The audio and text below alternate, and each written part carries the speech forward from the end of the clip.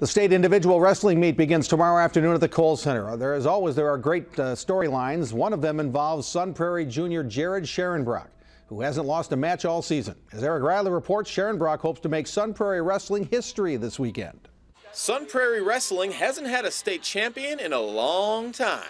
It was been can't read it from here, but last time we had a state champion was 1981. But this year, 145-pound junior Jared Scharenbrock brings his 42-0 record to the Kohl Center. This year, being a junior and being older for for high school, it, it, feels like I have a little more pressure than I have in the past. He loves the sport, and he just lives and breathes the sport of wrestling. And while Scharenbrock has enjoyed considerable success here at Sun Prairie, his career with the Cardinals hasn't been without struggles. Freshman year, I was undefeated going into the semifinals in sectionals and got disqualified for an illegal slam in like the first 30 seconds of the match. He learned a lot and he handled it really well.